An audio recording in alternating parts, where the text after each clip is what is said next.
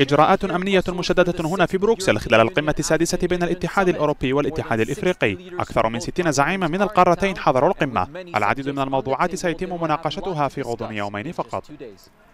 تشير تقديرات إلى أن 25% من السكان الأفارقة لديهم إمكانية الوصول إلى الإنترنت ويمثل التحول الرقمي أولوية للعديد من البلدان بما في ذلك جمهورية الكونغو الديمقراطية.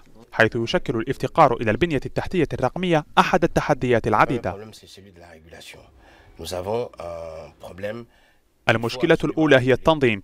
يجب علينا تنظيم الأنشطة الرقمية بشكل مطلق في القارة. هذا يعني وجود قواعد واضحة تحدد شروط الوصول.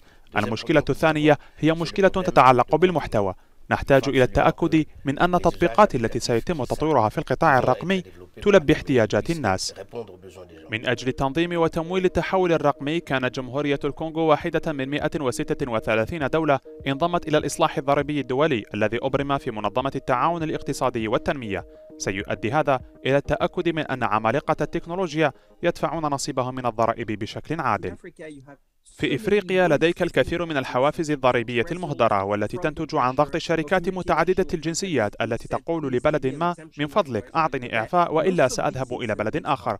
وبإقرار حد أدنى للضريبة بنسبة 15% ستتاح للبلدان الإفريقية الآن الفرصة لوضع حد لهذا الأمر وهذا يعني مداخيل مهمة.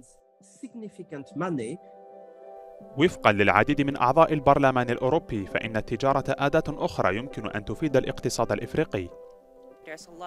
يوجد الكثير من رأس المال البشري من شباب ورائدات أعمال. هناك حضور قوي للمرأة في الاقتصاد الإفريقي خاصة في مجال الابتكار والتكنولوجيا. الكثير من الفرص في القارة. ويجب أن يكون الاتحاد الأوروبي الشريك التجاري لإفريقيا عندما يتعلق الأمر بالتجارة العادلة. بالجمع بين الضرائب والتجارة العادلة ورأس المال البشري يمكن للاقتصاد الإفريقي أن يحقق قفزة عملاقة نحو مستقبله الرقمي.